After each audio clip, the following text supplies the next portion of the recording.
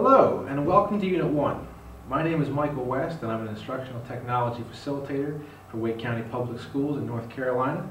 And today in this unit, in this first unit, we're going to talk about some of the basics of the smartboard and what is out of the box. So we're going to talk about some of the basic hardware, how to set up your software, and how to enable the projector, the smartboard, and your laptop to talk to one another.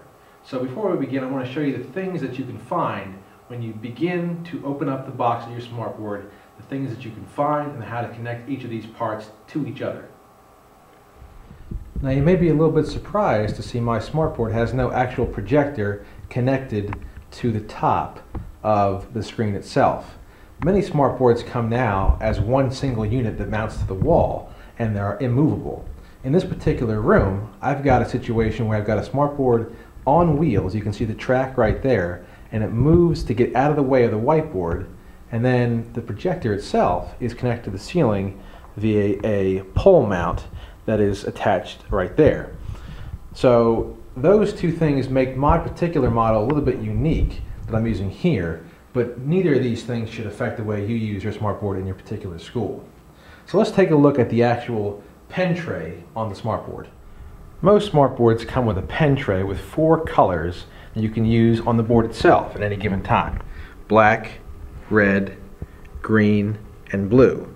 In addition, there's an eraser in the middle coupled with this keyboard icon button and this right mouse click button.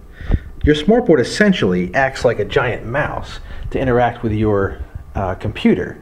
So the actual board has no ability to do anything your computer does not already have the ability to do. What makes a smartboard so unique is its ability to project a lot of stuff at one time and to interact with multiple media simultaneously. Your smartboard will interact with your laptop or desktop computer in three different ways. The connections to those things are, take a look here, there's this first one right here. This is your VGA cable that, it, that connects directly to the visual output of the smartboard. This particular cord Again, you can see the pins right there.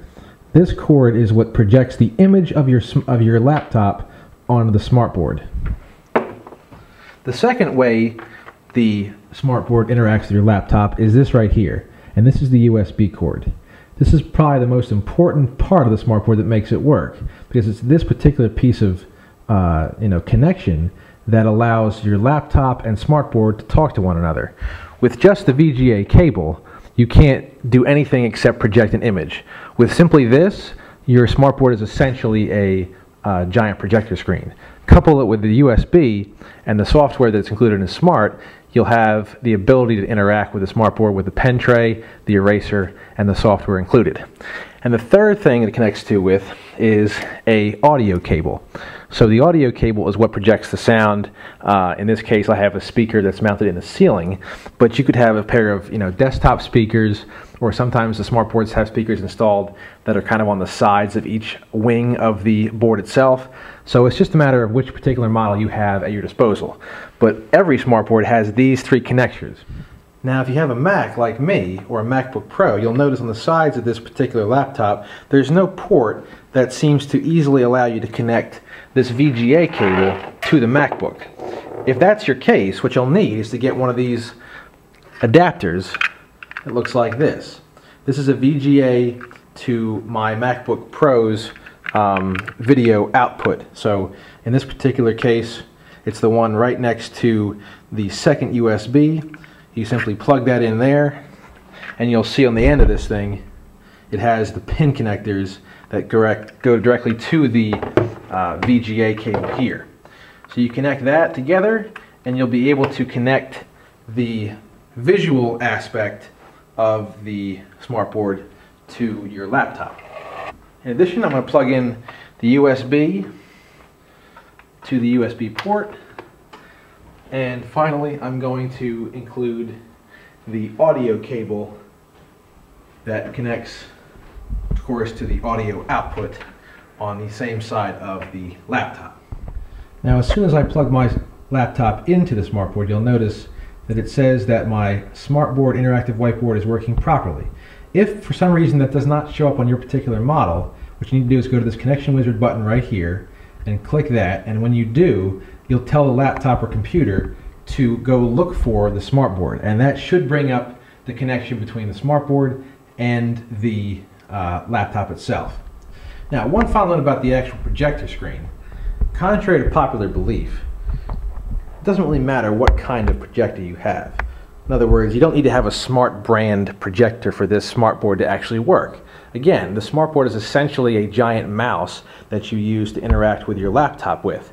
So the projector is almost inconsequential, and in fact, every smart model I've ever seen inside that little box with the smart logo actually includes probably a Sharp or a Sony or an NEC uh, brand uh, projector. And this one, in the case, is actually an NEC. So it does not matter what kind of projector you choose to use with the smartboard. Again, the most important thing being that the USB connection is able to be connected to the laptop because that is the thing that makes your laptop speak and communicate with the smartboard itself. Now when you first start up your actual smartboard, you'll want to align and orient the, uh, the points on the smartboard so that they, they properly communicate with the same points on your laptop. So to do that, you can do one of two things. You can go to the laptop, you can touch where it says orient slash align the smartboard, or there's a second way to do this, and that is to hold down these two mouse-like buttons in, in the front of this particular model. And when I do that, this comes up. And by doing this, this allows me to orient the smartboard to the correct um, specification. So all you have to do is tap the middle of these sort of crosshairs. And by doing that, you have then oriented the smartboard. So now that if I want to pick up this pen, I can write on the actual smartboard. So that's the first thing. That pretty much concludes the first unit here on the basics of setting up the smartboard and using the interactive connections to make a connection between the smartboard and your laptop.